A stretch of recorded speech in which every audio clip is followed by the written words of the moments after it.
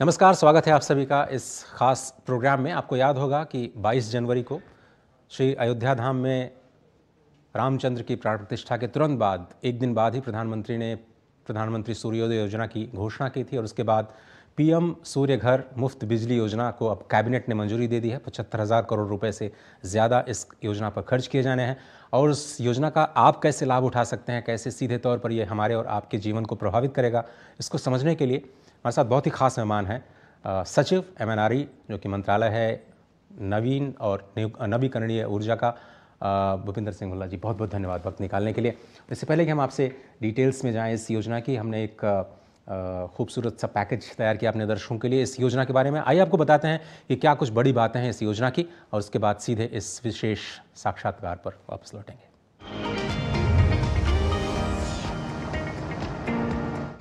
अब हमारी सरकार एक और ऐसी योजना लेकर आई है, जिससे आने वाले वर्षों में अनेक परिवारों की बचत और बढ़ेगी। हम बिजली का बिल ज़ीरो करने में जुटे हैं और बिजली से परिवारों को कमाई का भी इंतज़ाम कर रहे हैं। पीएम सूर्य घर मुफ़्त बिजली योजना के माध्यम से हम देश के लोगों की बचत भी कराएँगे और कमाई भी कराएँगे। इस योजना से जुड़ने वाले लोगों को 300 यूनिट तक मुफ़्त बिजली मिलेगी और बाकी बिजली सरकार खरीदेगी, आपको पैसे देगी। टिकाऊ विकास की दिशा में और लोगों की भलाई के लिए पीएम सूर्य घर मुफ़्त बिजली योजना को कैबिनेट ने मंजूरी दे दी है। इस नई स्कीम से एक करोड़ घरों को मुफ़्त बिजली का फ़ायदा मिलेगा। योजना पर सरकार पिछहत्तर हज़ार करोड़ रुपए से ज़्यादा का निवेश करेगी। स्कीम के तहत सरकार लाभार्थियों के बैंक खातों में सीधे सब्सिडी डालेगी। साथ ही उन्हें रियायती दरों पर बैंक लोन का बंदोबस्त भी किया जाएगा। एक नए पोर्टल पर योजना की सभी तरह की सुविधाओं को इंटीग्रेट किया जाएगा। शहरी स्थानीय निकायों और पंचायतों को अपने क्षेत्रों में रूफटॉप सोलर सिस्टम को बढ़ावा देने के लिए प्रोत्साहित किया जाएगा।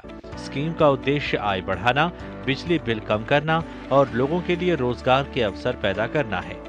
इस योजना का ऐलान 2024-25 के बजट में हुआ था। योजना के फ़ायदे की बात करें तो जहाँ एक और बिजली बिल में कमी आएगी, वहीं ऊर्जा सुरक्षा भी मज़बूत होगी। इस योजना से प्रदूषण में भी कमी होगी, वहीं रोज़गार सृजन में भी इजाफा होगा। प्रधानमंत्री नरेंद्र मोदी ने सोशल मीडिया प्लेटफॉर्म एक्स पर पोस्ट कर युवाओं से आग्रह किया कि वे पीएम सूर्य घर डॉट जी डॉट इन पर आवेदन करके पीएम सूर्य घर मुफ़्त बिजली योजना को मज़बूत करें।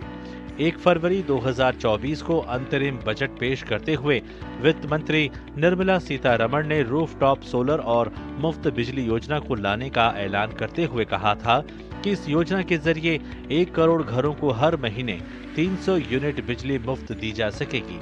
साथ ही इससे एक करोड़ परिवारों को योजना से सालाना पंद्रह से अठारह हज़ार करोड़ रुपए की बचत होगी। साथ ही वे सरप्लस पावर बिजली वितरण कंपनियों को बेच सकेंगे। एक बार फिर से स्वागत है आप सभी का इस खास प्रोग्राम में और शुरुआत सर यहीं से करते हैं कि इस योजना के मूल में क्या है? इसकी इसकी विशेषता क्या है? और इसके केंद्र में आपने किस चीज़ को रखा जब आप इस योजना की पूरी रूपरेखा कैबिनेट में लेके जा रहे थे? इस योजना का खास की खासियत ये है कि हमने जो पावर थी रूफटॉप सोलर सिस्टम लगाने की, वो अभी तक ज़्यादातर डिस्कॉम के पास थी या वेंडर्स के पास थी। कंज्यूमर एंड में आता था, क्योंकि हम क्या करते थे, हम कैपेसिटी एग्जिस्टिंग जो हमारी स्कीम थी, उसमें हम कैपेसिटी जो हमने इंस्टॉल करवानी थी हम स्टेट्स को एलोकेशन करते थे, उनको आवंटित करते थे। स्टेट आगे जाकर डिस्कॉम को बोलता था कि आप इस पर टेंडर कीजिए वेंडर ढूंढिए। और फिर वेंडर को ढूंढ के वेंडर को कैपेसिटी दी जाती थी कि आइए आप जाइए, अब ज़रा आप आप कंज्यूमर ढूंढिए जो लगाना चाहते हैं। तो कंज्यूमर का रोल एंड पर आता था। कंज्यूमर के पास पावर नहीं थी चूज़ करने की, क्योंकि वेंडर जाता था। तो कंज्यूमर को उसी से काम कराना पड़ता था। हो सकता है कि एक से ज़्यादा वेंडर चला जाए। लेकिन उसकी जो ऑप्शन थे बड़े कम थे। अब हमने इस नई योजना में इसको बिल्कुल ही विपरीत कर दिया, बिल्कुल उल्टा कर दिया। अब सारी पावर हमने कंज्यूमर के हाथ में दे दी है। अब अगर आप रूफटॉप सिस्टम लगाना चाहते हैं, आप सीधा हमारे पीएम सूर्यघर की जो नेशनल पोर्टल है, उस पर आइए रजिस्टर कीजिए और सीधा अप्लाई कर सकते हैं। आप वेंडर्स की लिस्ट वहाँ मौजूद है। सारे वेंडर्स जितने भी लगाते हैं पूरे देश में, उसकी लिस्ट अवेलेबल है। आपके एरिया में कौन सा है, उसके बारे में आपको पता चल सकता है। आप वेंडर्स को कंपेयर कर सकते हैं। कंपेयर करने के बाद उनसे बात कर सकते हैं अलग अलग और उनसे बात करके आप रेट्स ले सकते हैं सबसे। क्वालिटी का देखिए कि कौन सा आपके लिए अच्छा है। उसके लिए हम अपने पोर्टल पर बताएँगे कि कौन सी मॉड्यूल ज़्यादा अच्छे हैं, कौन सा इन्वर्टर ज़्यादा अच्छा है। आप उन मॉड्यूल और इन्वर्टर के जो हम इंफॉर्मेशन देंगी, उसको देखते हुए आप वेंडर से फैसला कर सकते हैं। अपने आप इंस्टॉल कर सकते हैं। मतलब वेंडर आपके लिए इंस्टॉल करेगा, आप उनसे तय कर लीजिए, आप इंस्टॉल कर दीजिए। इंस्टॉल करके हमें डिस्कॉम, जो पावर डिस्ट्रीब्यूशन कंपनी है, वो उसको चेक करेगी, वो वहाँ मीटर लगाएगी और हमें बता देगी पोर्टल के द्वारा। जैसे ही पोर्टल पे हमारे पास ये, हमारे पास आएगा, इन्फॉर्मेशन कि वो लग गया है और उसका इंस्पेक्शन हो गया है, उसकी जो सब्सिडी जो कंज्यूमर के लिए है, वो सीधा उनके खाते में चली जाएगी। तो सारी जो पावर थी जो भी कंज्यूमर के पास नहीं थी वो अब इस पोर्टल के द्वारा कंज्यूमर के पास आ गई है। तो ये एक खास विशेष यू नो इसकी खासियत है इस स्कीम की। तो आप कह रहे हैं कि अगर मैं एक कंज्यूमर हूँ और मेरे पास ऑलरेडी एक मीटर है जो अभी बिजली का मीटर है जो चल रहा है जिस पर मैं ऑलरेडी यूनिट्स कुछ खर्च कर रहा हूँ ऑब्वियसली वो थर्मल पावर से आ रही है मेरे घर में अब मैं उसमें एडिशनल ये मतलब आप कह रहे हैं मीटर लगेगा और ये सब्सिडी सीधे मेरे खाते में आएगी ये एक नया बदलाव है सर? ये ये जो अभी जो हमारे पास पावर आती है इन जनरल मैं बता दूँ करीबन हमारे पास जितनी भी पावर आती है क्योंकि हमारे पास देश में करीबन 22 परसेंट पावर वो रिन्यूबल एनर्जी आ रही है एक्चुअली जो फ्लो कर रही है। तो आपके पास जो आ रही है एनर्जी ज़रूरी नहीं कि वो सीधा हाँ, थर्मल सही है। उसमें से 22 प्रतिशत रिन्यूएबल एनर्जी का होगा लगभग। ये बढ़कर अब बढ़ता रहेगा हमारा जो ऑब्लिगेशन है ये बढ़ते बढ़कर 40 परसेंट हो जाएगा कुछ सालों के अंदर। हम्म। लेकिन जो जब ये आप रूफटॉप सिस्टम लगाएँगे उसके ऊपर आपका जो एग्जिस्टिंग मीटर है, उसको बदल दिया जाएगा। अभी एग्जिस्टिंग मीटर में क्या होता है, आप बिजली खरीदते हैं सिर्फ़। तो वो यूनी डायरेक्शनल होता है, वहाँ से बिजली आती है, आपके घर में जाती है। इसके लिए एक एक बाय डायरेक्शनल दो डायरेक्शन वाला नेट मीटर उसको बोलते हैं। नेट मीटरिंग वाला जो मीटर होता है, वो लग जाता है। उसमें जो कुछ बिजली तो बाहर से आएगी।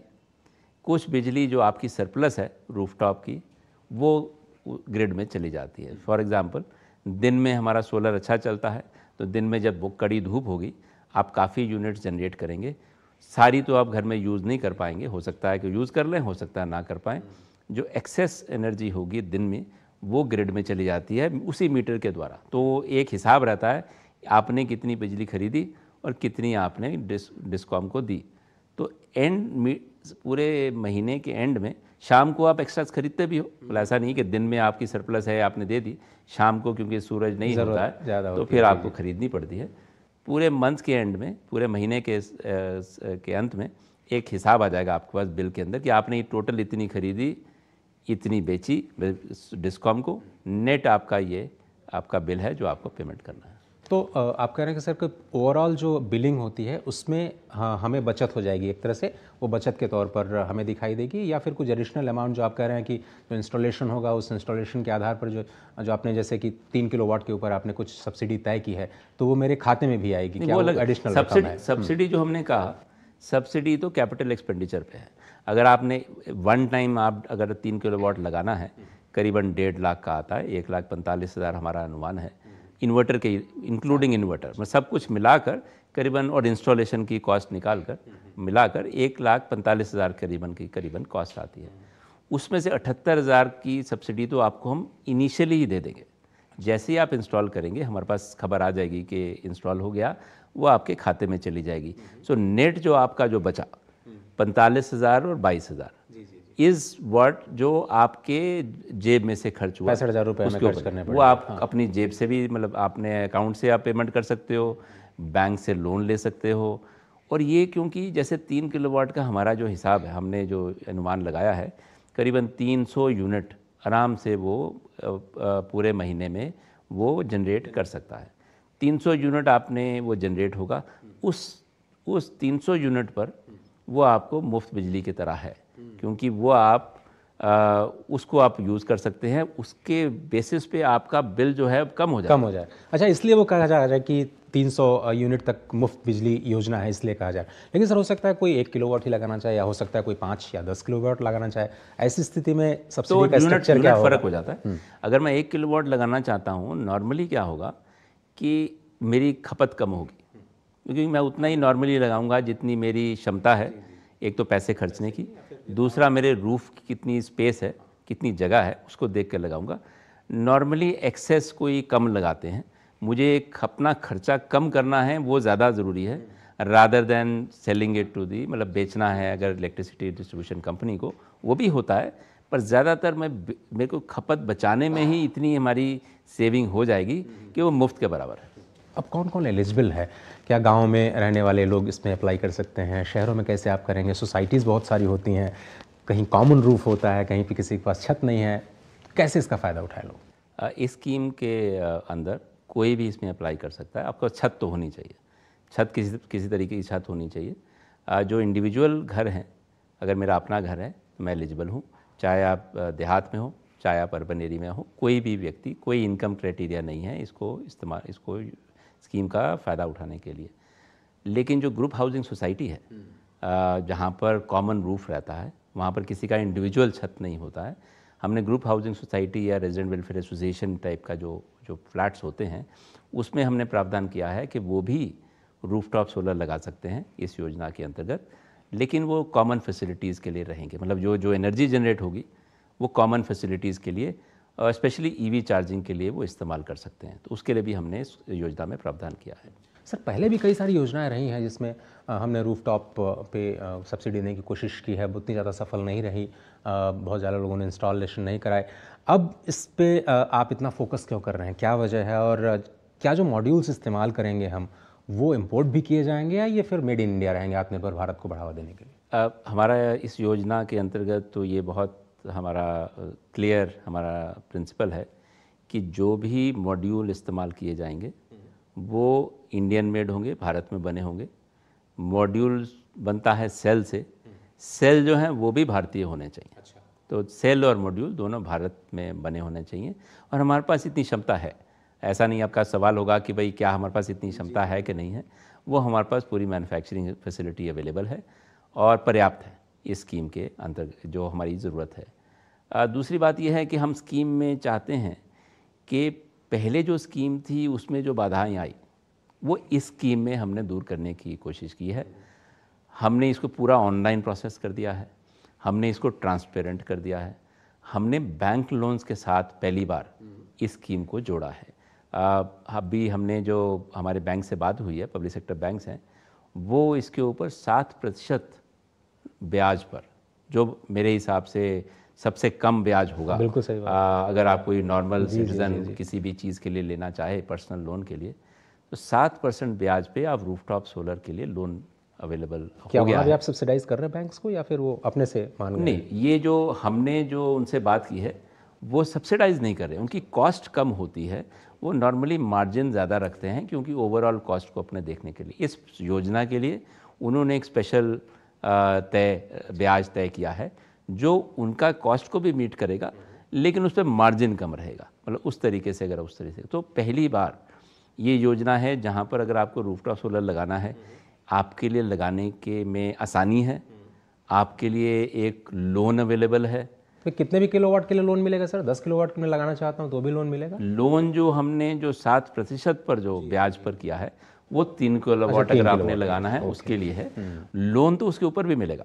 हमने ये भी किया है बैंकों से जो तय किया है कि मैं अगर बड़ा सिस्टम लगाना चाहूँ पाँच किलो वाट लगाना चाहूँ दस किलो वाट लगाना चाहूँ लोन फिर भी आप मुझे देंगे। अच्छा। तो उस लोन का भी प्रावधान किया गया है लेकिन उसका ब्याज थोड़ा डिफरेंट होगा उसका उसका जो रेट होगा वो थोड़ा डिफरेंट होगा लेकिन लोन फिर भी है।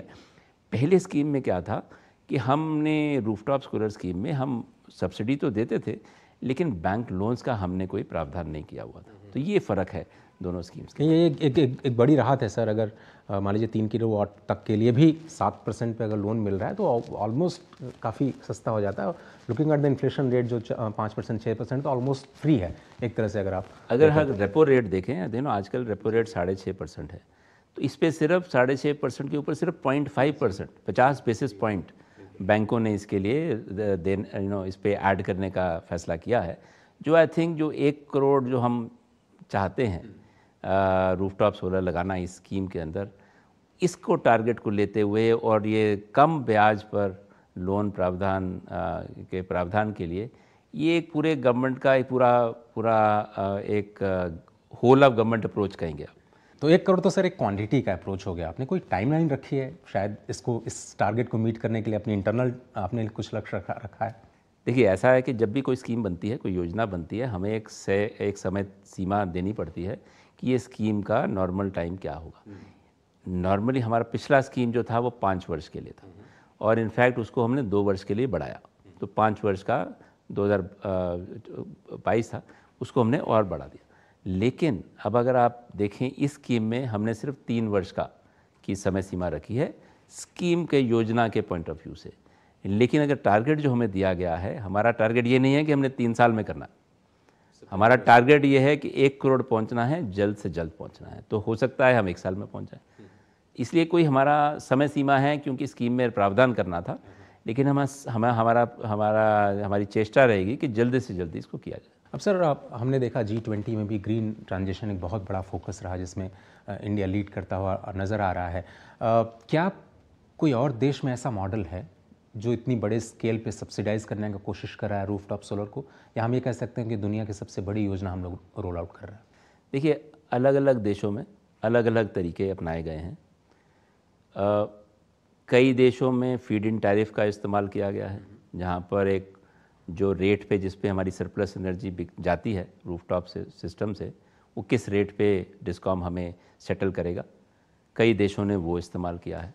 कईयों ने इस्तेमाल किया है क्लस्टर बेस्ड कि भाई चलिए, एक वेंडर है, वो पूरा एक जगह को, एक सिटी को या एक गाँव को, पूरा कस्बे को, पूरा सैचुरेट कर दे। आपकी रिस्पॉन्सिबिलिटी है कि आप एरिया वाइज आप इसको कर लें। तो कईयों ने कुछ और इस्तेमाल किया है। कई देशों ने सब्सिडी का प्रयोग किया है। पर मेरे ख्याल से इतने बड़े पैमाने पर इस तरीके से सपोर्ट जो हम जो हम जो हम आ, हमने इसकी प्रावधान किया है इतने बड़े स्केल पे हो सकता है कम लोग कम देशों ने किया होगा।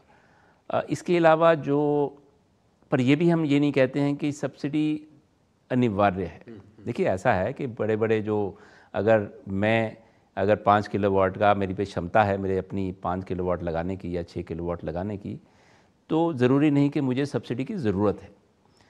वो मुझे फैसिलिटेट कर दे अगर सिस्टम मुझे उसमें आसानी दिलवा दे तो मुझे वो ज़्यादा ज़रूरी है। तो हमने इस स्कीम के अंदर एक जो हमने नई चीज़ ला रहे हैं वो है गिव इट अप कि हम आपसे रिक्वेस्ट करेंगे कि अगर आपको अफोर्ड कर सकते हैं अफोर्ड तो, कर हाँ। सकते हैं तो आप सब्सिडी मत लीजिए। आपको हम सहूलियत पूरी देंगे। हमारा सिस्टम आप यूज़ करेंगे हमारे हम उसको डिस्कॉम को के थ्रू अप्रूवल जल्दी दिलवाएँगे इंस्टॉलेशन होगा सहूलियत हम पूरी देंगे। मतलब आत्मनिर्भर तो बनने में सहायता करेंगे आप। आत्मनिर्भर बनने में हम पूरे हर सिटीज़न को हम सहायता देने के लिए तैयार हैं। ये भी हमें पता चला है सर कि आप पूरा का पूरा गाँव या फिर एक मोहल्ला ही सोलर के ऊपर बसाने का प्रयास कर रहे हैं। कुछ ऐसी भी योजना है कि सोलर विलेज प्रमोट किया जाए इस स्कीम के ज़रिए? तो इस योजना में जो पहली हमारी पिछली स्कीम थी वो रूफटॉप सिर्फ़ के ऊपर थी। इस बार हमने रूफटॉप को एक और तरीके से यूज़ करने की कोशिश की है। आ, हमने मॉडल सोलर विलेजेस का प्रावधान किया है और इतने बड़े स्केल पर पहले कभी नहीं किया था। अब हम चाहते हैं कि हर ज़िले में हर डिस्ट्रिक्ट में एक विलेज मॉडल सोलर विलेज बने। हर ज़िले में एक मॉडल सोलर विलेज बनाया जाएगा इस स्कीम के अंतर्गत जिसमें कि जितने घर हैं जहाँ पर रूफटॉप सोलर लग सकता है वहाँ तो रूफटॉप सोलर लगे ही। इसके अलावा आपकी जितनी बिल्डिंग्स हैं कम्युनिटी बिल्डिंग्स हैं गवर्नमेंट बिल्डिंग्स हैं कोई और कम्युनिटी एसेट्स हैं वहाँ पर भी रूफटॉप लगे। इसके अलावा जो बाकी ज़रूरत पड़ेगी एनर्जी की उस विलेज में वो भी सोलर एनर्जी के द्वारा हम प्रोवाइड ये कैसे करेंगे सर? कौन चूज़ करेगा? ग्राम प्रधान जाएगा डीएम के पास कि साहब मेरे गाँव को आप बना दीजिए या डीएम चूज़ करेगा सबसे आइडियल स्टेट में आप लोग उससे मदद करेंगे? अच्छा लग रहा है सुनने में सर लेकिन ये इम्प्लीमेंट कैसे कैसे होगा उसका हमने जी नहीं नहीं इट्स आपका अच्छा सवाल है। इसके कई तरीके थे करने के लिए। एक तरीका था तो हम किसी स्टेट को बोलें या डिस्ट्रिक्ट को बोलें कि आप चूज़ कर दो। लेकिन हम ये सोचते हैं कि इसका बेस्ट तरीका है कि अगर विलेजेस या गाँव खुद थोड़ा इसमें प्रोत्साहित हों तो हम ये थोड़ा चैलेंज मोड में जाना चाहते हैं इसको चूज़ करने के लिए। उसकी डिटेल्स हम अभी वर्कआउट कर रहे हैं। तो हम चाहेंगे कि पूरे हमारा जो पॉपुलेशन है सिटीजन्स हैं सब मिलकर इसको तय करें कि कौन सा विलेज ऐसा मॉडल सोलर विलेज होना चाहिए। लेकिन ये एक शुरुआत है। ये तो एक मॉडल सोलर विलेज है जो हम प्रोत्साहित करना चाहते हैं। हम तो चाहते हैं कि बाकी गाँव भी इस सोलर विलेज को देखकर खुद कहें कि हाँ हमें भी बनना है। मुझे लगता है सर, मैं वही मेरा अगला सवाल था कि बहुत कुछ राज्य शायद ऐसे होंगे जो प्रोएक्टिवली आपके पास आएँगे और कहेंगे कि हमें इसमें पार्टिसिपेट करना है एग्रेसिव पार्टिसिपेशन का करना है। कुछ लोग शायद पीछे रह जाएँगे जहाँ पर उतना ज़्यादा इन्फॉर्मेशन लैग हो जाता है। ऐसे में राज्यों की भूमिका कितनी इंपॉर्टेंट है इस पूरे स्कीम के लिए? नहीं देखो राज्यों की भूमिका हमेशा रहती है ऐसी स्कीम में जहाँ पर हम बनाते हैं लेकिन रोल आउट करना होता है कंज्यूमर और हमारे बीच उसको लगाने के लिए। देखिए इसमें डिस्कॉम का बहुत बड़ा अहम रोल है हमेशा रहेगा पहले भी था पुराने स्कीम में नई स्कीम में भी रहेगा क्योंकि एंड में तो डिस्कॉम ने जाकर पावर डिस्ट्रीब्यूशन कंपनी ने जाकर उस पर वहाँ इंस्पेक्शन करना है, हमें बताना है कि वो लग गया। उसको चेक करना है कि ठीक लगा कि नहीं लगा। उसके बाद उन्होंने वहाँ एक मीटर लगाना है। नेट मीटर बोलते हैं उसको, जो दो डायरेक्शनल मीटर होता है, जिसमें एनर्जी आप खरीदते हैं, बेचते हैं, दोनों आ जाती है। मीटर का मीटर भी लगाना है। तो डिस्कॉम का रोल तो बहुमूल्य है और रहेगा और हम चाहते भी हैं कि डिस्कॉम इसमें पूरा एसोसिएटेड रहे। तो स्टेट्स की भूमिका इसमें हमेशा अहम रहेगी। काफ़ी स्टेट्स ये ना ये कहने की बात है कि स्टेट्स कुछ ज़्यादा प्रोएक्टिव होंगे कुछ कम प्रोएक्टिव होंगे लेकिन अगर सिटीज़न को फ़ायदा हो रहा है तो मेरे ख्याल से सभी स्टेट्स इस पर ऑन बोर्ड इसमें रेट्स को लेकर आपको कभी दिक्कत आई क्या कि जो पी होंगे या फिर स्टेट्स के बीच में या डिस्कॉम्स के बीच में आपके बीच में उसमें रेट्स को लेकर क्या सहमति बन गई यूनिफॉर्म सब लोग तय हो गए या फिर उसमें भी कुछ? नहीं जो जो रेट आप जिसकी बात कर रहे हैं हम वैसे पावर प्रोजेक्ट्स में होता है कि एक पावर हाँ। प्रोजेक्ट की जो क्षमता है वो किस टैरिफ उस टैरिफ कोट करके उसको दिया जाता है। इसमें सिर्फ़ फ़र्क ये है कि जो बिजली सरप्लस है अगर मेरे पास रूफटॉप सिस्टम मैंने रूफटॉप लगाया है सोलर लगाया है जो मैं कंज्यूम करता हूँ वो तो कंज्यूम कंज्यूम कर लिया। तो जो मेरी सरप्लस हुई मैंने हम्म। आपको डिस्कॉम को दे दी वो किस रेट पे उसको सेटल किया जाए इसका एक एक एक ज़रूरी एक मापदंड है जो हम अभी स्टेट्स अलग अलग रखते हैं। देखो ये स्टेट रेगुलेटर के ऊपर रहता है नॉर्मली कि क्या रेट उस पर तय हो। तो इस पर थोड़ा हम चाहते हैं कि एक स्टेट्स का थोड़ी कन्फॉर्मिटी थोड़ा सा आसपास रहें कि ज़्यादा उसमें फ़र्क नहीं हो। ये हमें काम करना पड़ेगा स्टेट्स के साथ। लेकिन ये हम रूल्स बनाकर भी कर सकते हैं थोड़ा। इसको इनक्रेज कर सकते हैं। तो मिनिस्ट्री ऑफ़ पावर उसमें इलेक्ट्रिसिटी एक्ट के अंदर रूल्स बनाती है। उसको हम यूज़ करने का प्रयोग करेंगे। कि कैसे उसकी कोशिश करेंगे कि कैसे उसको इस्तेमाल कर सकें। फाइनली सर अगर आप सोलर पावर को लेकर के आगे की दिशा हमें थोड़ा सा बता पाएँ कंज्यूमर्स में क्योंकि आपने बताया कि कंज्यूमर्स के लिए स्कीम है तो आप सीधे उन्हीं से मुखातिब हों। और आप बताएँ कि सोलर को लेकर के आगे आपका क्या सोचना है? रेट्स को लेकर के कब वो अफोर्डेबल हो पाएँगे? कब एक विश्वास आम आदमी के मन में पैदा हो पाएगा कि हम सोलर को अपना सकते हैं? ये हमारे लिए फ़ायदेमंद है अफोर्डेबल है एक्सेसिबल है। एक चीज़ तो मैं ये कहना चाहूँगा कि सोलर ऑलरेडी अफोर्डेबल है। इनफैक्ट अगर आप आजकल के जो हम नो पावर प्रोजेक्ट्स करते हैं रिन्यूएबल एनर्जी के विंड प्रोजेक्ट्स देख लीजिए या सोलर प्रोजेक्ट्स देख लीजिए सोलर में सबसे कम रेट आता है। तो एक तो और आपके बिना जाने हुए भी आप घर में सोलर का इस्तेमाल कर रहे हैं क्योंकि जितनी बिजली आप हाँ, खरीद रहे हैं में जाकर के वो जो डिस्कॉम बिजली खरीदता है उसका एक परसेंटेज होता है वो रिन्यूएबल एनर्जी उनको खरीदना पड़ता है। तो आपको पता नहीं है लेकिन आप फिर भी अभी सोलर और विंड को संभाव आप एक पैकेज में यूज़ कर रहे हैं। और ये जो परसेंटेज है ये बढ़ता रहेगा। हमारा जो जो हमने नोटिफिकेशन निकाला हुआ है उसमें ये जो परसेंटेज है ये आजकल इस साल जो पिछले साल में 27 परसेंट है अभी करंटली अगले साल वो उनतीस परसेंट हो जाएगा और उसके और 2030 तक ये तिरालीस प्रतिशत हो जाएगा। इसका मतलब कि जितनी मैं बिजली डिस्कॉम खरीदेगी तिरालीस प्रतिशत उसका रिन्यूएबल एनर्जी होना पड़ेगा। उसमें सोलर भी है विंड भी है डिफरेंट कॉम्बिनेशन हैं। तो वो आपको खरीदना ही पड़ेगा, आप बिना जाने हुए भी। लेकिन तो सोलर का महत्व, एक तो है आप जो बिजली आ रही है उसमें, लेकिन सोलर का महत्व इस स्कीम के द्वारा, अगर मैं दर्शाने की कोशिश करूँ, आप अपने घर में बिजली बना रहे हैं। आप अपने घर में ऐसी बिजली बना रहे हैं जो आप जो ना पाँच सात साल में उसका ब्रेक इवन हो जाता है। पच्चीस साल तक ये प्लांट चलता है। तो जब आपका ब्रेक इवन हो गया, आपका, आपने पैसा अपना जितना बोरो किया था, वो भी दे दिया है सरप्लस भी आपका सेटल हो रहा है, उसके बाद तो ये फ्री ही फ्री है, पच्चीस साल के लिए। तो इसलिए सोलर रूफटॉप लगाने के लिए तो मैं कहूँगा हर व्यक्ति को जिसका पास रूफ है, जिसके पास छत है, लगाना चाहिए। हर घर पर, हर छत पे सोलर होना चाहिए। फाइनली सर आपको लगता है कि जो आपने सोलर के लिए लक्ष्य तय किया है उत्पादन का उसमें हर कोई कंट्रीब्यूट करेगा इस स्कीम के ज़रिए और वो भी इसका एक पार्ट होता हुआ नज़र आएगा अगर ये स्कीम सफल होती है? बिल्कुल सफल होगी और आ, हम ये चाहते हैं कि हर व्यक्ति इस देश का हर सिटीज़न इसमें इसमें पार्टिसिपेट करे। आप हर तरीके से पार्टिसिपेट कर सकते हैं। एक तो आप लगा सकते हैं। अगर लगा नहीं रहे तो उसको कम्युनिकेशन आप कर सकते हैं। आप लोगों को इसके बारे में बता सकते हैं। आप डीकार्बनाइजेशन एफर्ट में जो अपना जो कार्बन हम जनरेट करते हैं, हम कहते हैं कि अपना यू नो कार्बन फुटप्रिंट कम करें, इससे आप कम कर सकते हैं, दूसरों को आप प्रोत्साहित कर सकते हैं। तो मेरे ख्याल ये एक, ये योजना ही नहीं, ये पूरा एक कैंपेन है, पूरा एक मिशन मोड है हमारा, कि भारत को हमारा जो लक्ष्य है 2030 तक यू नो पचास प्रतिशत हम इलेक्ट्रिसिटी रिन्यूएबल एनर्जी के थ्रू या नॉन फॉसिल कैपेसिटी के थ्रू यूज़ करें। 2070 तक हम नेट ज़ीरो हो जाएँ, ये उसमें मदद करेगा। बहुत बहुत धन्यवाद अल्लाह साहब, वक्त निकालने के और बहुत शुभकामनाएँ। आपको इतना महत्वाकांक्षी योजना मिशन मोड में आप लेकर के चल रहे हैं मुझे उम्मीद है कि ज़रूर सफल होगी और एक करोड़ का लक्ष्य आप जल्दी ही प्राप्त कर पाएँगे जिसका आपने टारगेट रखा है। बहुत बहुत धन्यवाद। तो फ़िलहाल इस खास कार्यक्रम में सिर्फ़ इतना ही, लेकिन कोशिश कीजिए कि आप इस योजना के बारे में और ज़्यादा समझिए। आप ऑनलाइन पोर्टल पर जाइए मिनिस्ट्री के और वहाँ पर खुद आवेदन कीजिए अगर आप चाहते हैं तो। और नहीं तो आप अपने आसपास इसके बारे में जागरूकता फैलाइए। फ़िलहाल इस खास कार्यक्रम सिर्फ़ इतना ही। पूरी टीम को दीजिए इजाज़त। नमस्कार।